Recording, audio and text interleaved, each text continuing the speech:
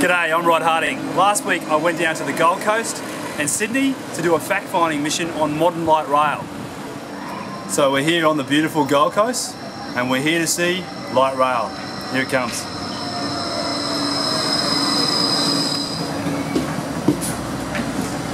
So here we are, we're on board and I can see why Gold Coasters love this service. They're using it in record numbers and it's easy to see why. I mean, the carriages are really beautiful and clean, it's air conditioned and it's reliable. I mean, you can set your watch by it.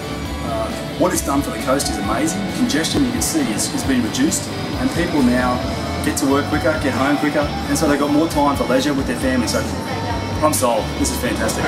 Okay, so here we are at Cavill Avenue. Now I remember Cavill Avenue really well as a kid, schoolies, and it was choked with cars. Look at it today. You've got your light rail going, fantastic. And what you've got a few cars on the road. Just magnificent. This is what light rail can do for a city. I love it. Gold Coast Light Rail was fantastic. It was modern, it was quick, it was affordable. Next up, Sydney. Well, I'm here at Brisbane Airport. It's 5.30am. Off to Sydney today, and we're going to check out light rail in Sydney. So let's go.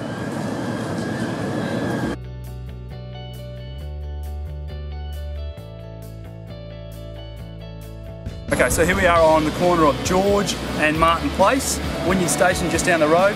George Street, this is where the trams, the light rail is going to run up and down. They're going to make it a boulevard. Sounds fantastic. So as you can see, construction's already started. They don't muck around here, they just get in and do it. And I love this sign, check us out. We're building tomorrow's Sydney. This is going to modernise this city, it's going to energise this city. I love it. After checking out George Street, I had a meeting with representatives from the City of Sydney who explained to me how congestion in their city is costing the economy $10 billion per year. Light rail is a big part of their plan to tackle this crisis. After the meeting, I took a walk with Councillor Linda Scott from the City of Sydney to chat about how light rail is going to modernise Sydney. So we're here with Councillor Linda Scott from the City of Sydney. Thanks for taking the time, Councillor. Pleasure. So tell me about light rail. I mean, how's it progressing? I think that this is going to be great for the future of Sydney. Having light rail, you can see all the way uh, down our main street of Sydney, George Street, is going to really change the face of Sydney. It will mean that there's better integration between uh, light rail, public transport and green spaces. It will leave more room for cycling and walking and it will activate our businesses and our communities around a central public open space. It's really critical for making Sydney a city of the future.